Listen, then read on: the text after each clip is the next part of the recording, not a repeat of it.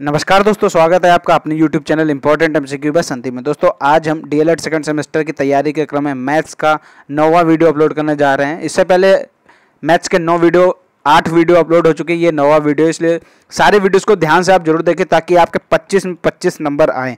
समीकरण तथा सर्व समीका बनाना और उनको हल करना, आज हम इस वीडियो में सीखेंगे।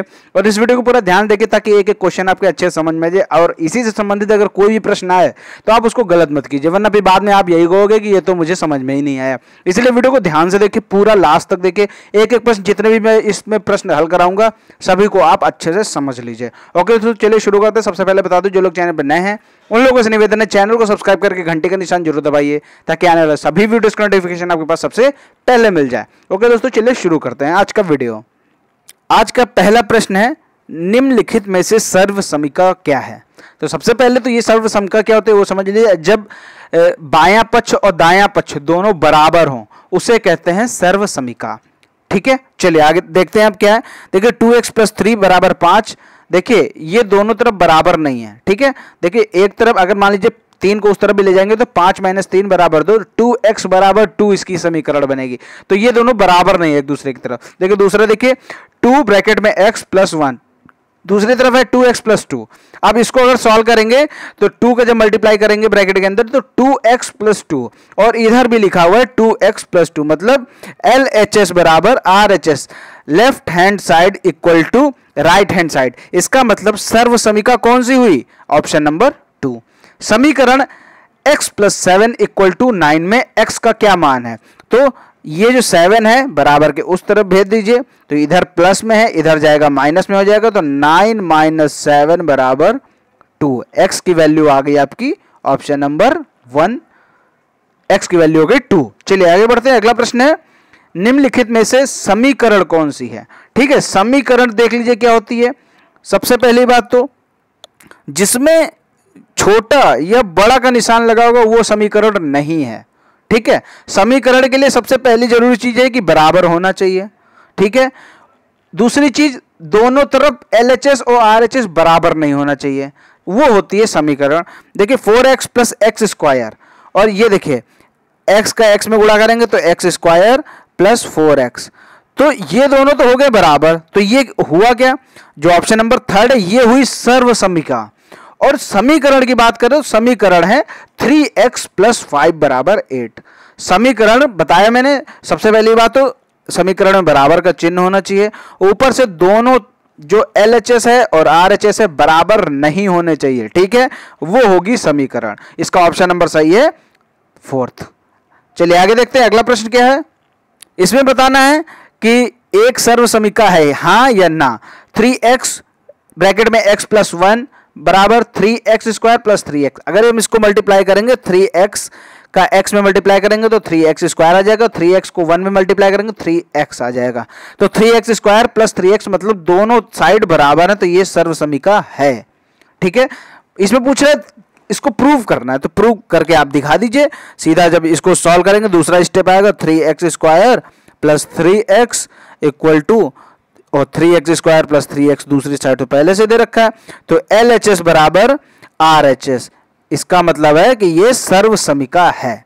चलिए आगे देखते हैं, अगला प्रश्न है। X square minus one equal to four देखिए, इसमें दोनों तरफ़ बराबर नहीं है। ये तो आप समझ गए, दोनों तरफ़ बराबर नहीं अगर हम एक को इस तरफ़ ले जाएँगे तो फोर प्लस वन फाइव हो जाएगा।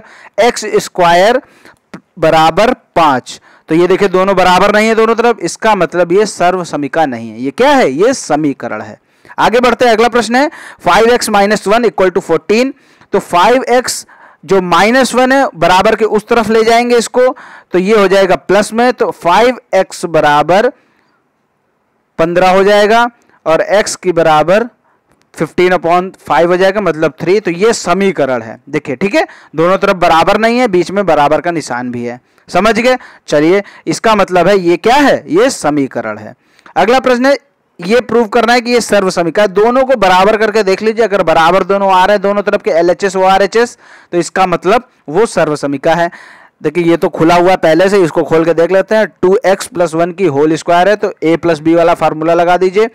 A square plus B square plus two A B तो टू एक्स का स्क्वायर होगा four x square plus one का स्क्वायर होगा one plus two A B होगा तो टू टू जा फोर फोर एक्स तो four x square plus one plus four x देखिए, यही सेम टू सेम इसका मतलब ये सर्व समीका सर्व समीका में आर एच एस और एल एच एस दोनों बराबर हो जाते हैं। आगे बढ़ते हैं। अगला है three x plus four plus eight plus nine x ये प्रूव करना एक समीकरण।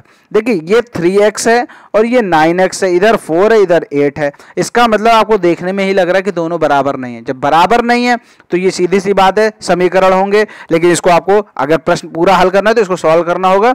देखिए नाइन एक्स, थ्री एक्स उस तरफ़ जाएगा तो nine x minus three x और फोर माइनस एट। ठीक है? समझ गए? चलिए, अब इसको सॉल्व कर लीजिए। सिक्स एक्स माइनस फोर आ जाएगा।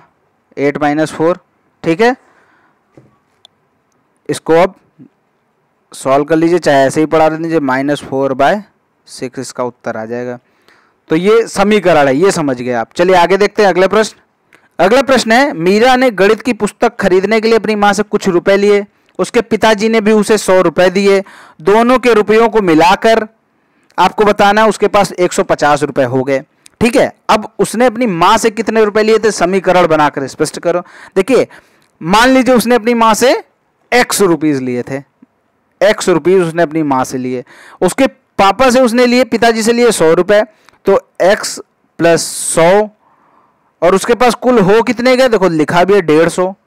डेढ़ सौ हो गए। अब माँ से उसने कितने लिए? वो आप निकाल लीजिए। तो एक्स डेढ़ सौ माइनस सौ। ठीक? माँ से उसने कितने रुपए लिए? पचास रुपए लिए। ठीक है? ये समीकरण के माध्यम से हल करना साफ़ साफ़ लिखा, समीकरण बनाकर स्पष्ट कीजिए। तो ये आपकी समीकरण भी बन गई और उसने माँ से कितने रुपए लिए वो भी स्पष्ट हो गया। चलिए आगे देखते हैं अगला प्रश्न। समीकरण x plus seven equal to fourteen तो सीधा जाए सेवन को उस तरफ़ भेज दीजिए तो फोर्टीन माइनस सेवन उधर प्लस में तो इधर जाएगा तो माइनस में हो जाएगा। उत्तर आपका आएगा, चौदह माइनस सात बराबर सात। उत्तर है आपका सात। अगला प्रश्न है two x plus five equal to thirteen. तो टू एक्स बराबर थर्टीन, पाँच को उस तरफ़ भेजेंगे तो माइनस हो जाएगा। जब पाँच उस तरफ़ भेजेंगे तो माइनस हुआ तो बचेगा आठ। टू एक्स बराबर आठ। अब एक्स बराबर आठ बटे दो इक्वल टू फोर। उत्तर कितना आएगा? चार इसका उत्तर आएगा। आगे बढ़ते हैं, अगला प्रश्न है। प्रश्न संख्या आठ। X minus nine equal to three इसको हल कर लीजिए तो जब नौ को उस तरफ़ ले जाएँगे तो माइनस का उधर जाएगा तो प्लस का हो जाएगा। एक्स बराबर बारह, उत्तर आ जाएगा। समझ गए? चलिए आगे देखते हैं, अगला प्रश्न है। तालिका बनाकर सिद्ध कीजिए कि x प्लस वन का whole square equal to x square plus two x plus one अब इसको हम तालिका बनाकर सिद्ध करेंगे। इसको चलिए ले चलते हैं आपको अपनी कॉपी पर। देखिए, ये हमने तालिका बनाकर सिद्ध कर दिया है कि ये एक सर्व समीका है। देखिए, x प्लस वन का whole square x square plus two x plus one इन दोनों को प्रूव करना है कि ये सर्व समीका और तालिका बनाकर। तो सबसे पहले एक क्रम संख्या का कॉलम खींच लीजिए, x का मान का कॉलम खींच लीजिए, और एक है x प्लस वन का होल स्क्वायर और दूसरी है x square plus two x का प्लस वन तो ये चार कॉलम आपको खींचने हैं। ठीक? अब सबसे पहले x का मान टू रख के देखिए। अब इसमें टू का मान रखेंगे तो देखिए x प्लस वन है मतलब two plus one equal to three और थ्री की जब होल स्क्वायर करेंगे तो थ्री थ्री जा नाइन हो जाता है। ठीक है? वही हमने यहाँ लिख दिया। अब यहाँ पर x की वैल्यू थ्री टू रख दीजिए। ठीक है? तो टू का स्क्वायर जब करेंगे तो आएगा फोर प्लस है टू एक्स तो टू टू जाओगा फोर और प्लस वन अब इन सबको जोड़ लीजिए, four plus four plus one equal to nine. चलिए, टू से तो समझ गए कि ये सर्व समीका है। अब अगला देखते हैं। अब हम वैल्यू रखते हैं पाँच एक्स की। तो पाँच जब इसमें रखेंगे तो फाइव प्लस वन हो गया सिक्स और सिक्स का स्क्वायर करेंगे तो सिक्स सिक्स जा थर्टी सिक्स ठीक? अब इसमें सिक्स की वैल्यू रख दीजिए एक्स की वैल्यू सिक्स रख दीजिए। तो जब सिक्स का स्क्वायर करेंगे तो आएगा सॉरी फाइव रख रहे हैं वैल्यू तो इसमें फाइव रखेंगे तो फाइव की वैल्यू जब रखेंगे तो फाइव स्क्वायर होगा twenty five plus five two जा टेन प्लस वन पच्चीस प्लस दस प्लस एक मतलब पच्चीस दस पैंतीस प्लस एक छत्तीस. मतलब हमने फाइव से भी रख के देख लिया तो दोनों में छत्तीस आ रहा है. कम से कम दो या तीन चार कुछ भी आप संख्या ज़रूर रखिए. तो अब दस रख के देख लेते हैं तो दस और प्लस एक बराबर ग्यारह। ग्यारह का स्क्वायर करेंगे तो ग्यारह इंटू ग्यारह हो गया एक सौ इक्कीस।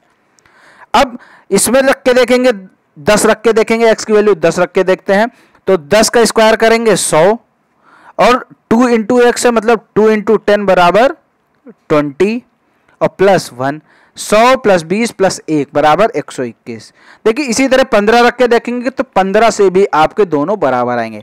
इसका मतलब जब हर वैल्यू रख रहे हैं, कोई भी वैल्यू रख रहे हैं तो दोनों बराबर आ रहे हैं, इसका मतलब ये क्या है?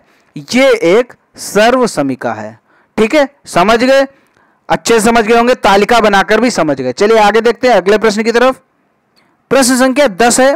दस में भी वही है। तालिका बनाकर निष्कर्ष निकालिए कि प्रतिबंध five x plus four equal to three x plus eight तथा प्रतिबंध x x plus two x square plus two x में कौन सा प्रतिबंध सर्व समीका है?